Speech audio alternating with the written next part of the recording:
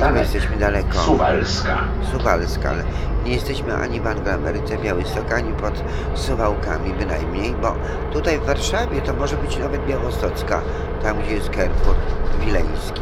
Tutaj mamy jeszcze takie w stylu Socland budowane y, bloki, domy pozostałości y, po wojnie. Suwalska. Po wojnie.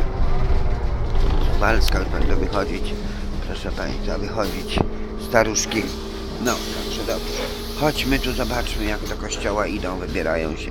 Linia Mysia. Mamy, proszę Państwa, bowiem tu w Warszawie na Mazowszu nad Wisłą, szczególnie tu w Warszawie, bo to kraj katolicki, o, napisane Suwalsko, to. Systemy katolickie. Oni idą na msze i są Następny przyzwyczajeni. Klub Lira. przyzwyczajeni są tak chodzić. Klub Lira, to może być też ciekawe, zapraszamy do klubu Lira, ale wiem, że w Angloameryce Białystok te kluby, to one i w niedzielę funkcjonują, ale że one w ogóle naprawdę funkcjonują. W Angloameryce Białystok jak byłam, to byłam w klubie Mikron i stepowałam.